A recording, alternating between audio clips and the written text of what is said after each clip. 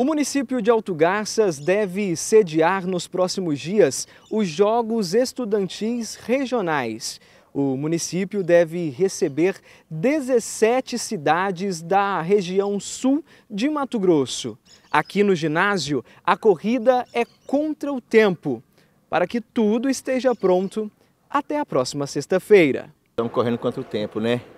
Tivemos um atraso aí na ata, né? Mas estamos aí. Esse prometeu para mim que entrega no prazo legal.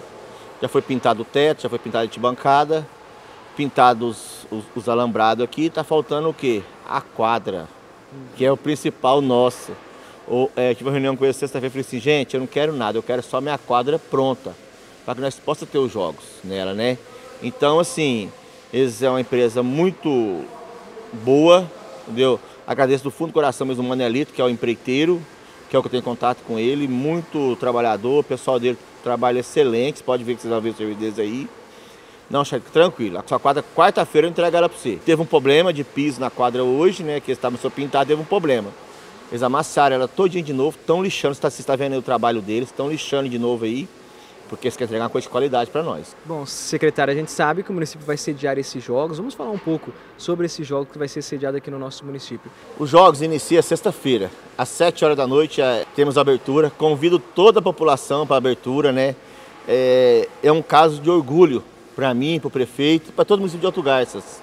Eu tenho 20 anos de jogos, você mesmo sabe disso aí, não estou primeiro ano em jogos.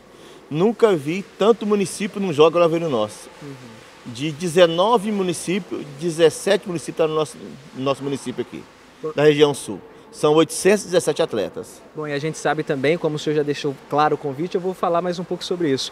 A vinda da população para prestigiar e representar a cidade de Alto Garças nesses jogos também é fundamental, né, secretário? Sim, contamos com toda a população de Alto Garças, já gosta do esporte, né? Esse aqui é um jogo de, bem dizer, adolescente, 17 anos, né? Vamos ter jogos o dia inteirinho aqui no ginásio, jogos na Vila Morena, de Anari Ribeiro, né? Então a gente vai ter muitos jogos, o pessoal curtir bastante. Começa na sexta-feira, nós vamos ter a abertura, né, com a presença do nosso secretário de esporte do estado, que é o Jefferson, né, um parceiro que nós temos lá em cima, parceiro mesmo, vai estar presente no nosso evento, você imagina, né, um secretário numa cidade pequena, né, tá aqui junto conosco, vai estar também com nós aqui. E vamos ter a abertura, né, entre as delegações em quadra, em nacional, vamos ter três danças do Sejupa, né, aqui conosco, e depois um jogo de fundo, o time de Alto Garças, futsal masculino.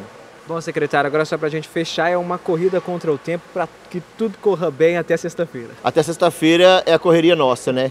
Mas eu conto com toda a população para ajudar nós, conto com você, com a sua ajuda conosco aí, não só reportagem, que você já faz um belo trabalho conosco, sempre dando apoio para nós toda hora, mas precisamos do seu apoio também fora das câmeras e fora do microfone.